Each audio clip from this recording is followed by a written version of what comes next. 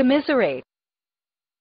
The word commiserate means to sympathize with, to show sorrow for, or to offer condolences.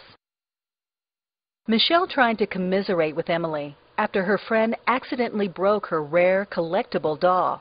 While reassuring Emily that everything would be okay, Michelle sympathized with her sadness over ruining her very valuable doll.